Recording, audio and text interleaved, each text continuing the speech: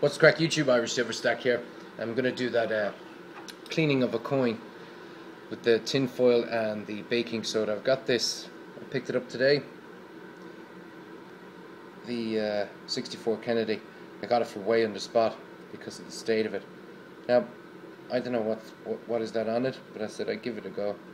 Um, this method. So you can see all on the edges there. I mean, it's just a mess. So what you're going to need is the boiling water. You can hear that in the background. Um, and you're going to need some kind of container with the tin foil on the outside. So we'll see how this guy gets on. So as soon as that boiled, I'm going to throw in the hot water. I'm going to just throw it in there now. Now you do want some kind of contact with the tin foil between the, the coin and the tin foil. That's that's how the, the reaction happens. So that's the kettle boiling there. I'm just going to throw in the hot water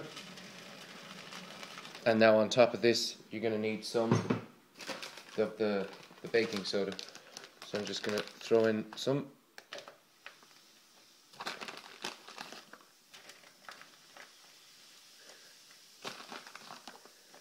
But I'd have too much than too little.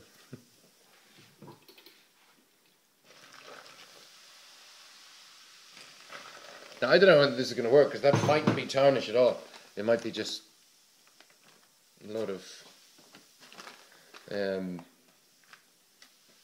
a lot of gunk. We shall see. I'm going to leave it there. There's a lot of activity going on down there.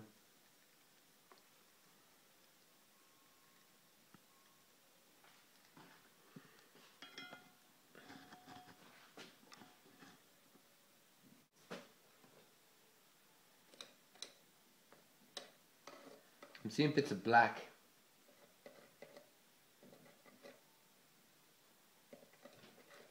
come off it. But I'm just wondering, is it the side that's touching the the uh, the tin foil or the aluminum foil, or does it come off the top? Be interesting. But it seems to be doing something there, so I'm going to leave it, and I'll come back to it. I'm gonna also, I'm not gonna film it, but I'm gonna flip it over, obviously, and then I'll come back okay, to you when um, it's finished. It's come out quite good. I'm just gonna give it a rub with this cloth here.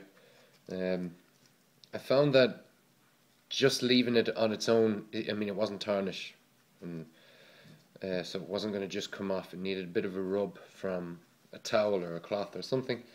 But having said all that, you can't argue with that. Look at that.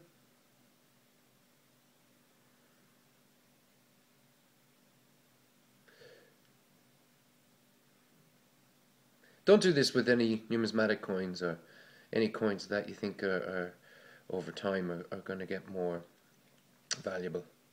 But for something like a little project like that, the edge is pretty much cleaned up as well.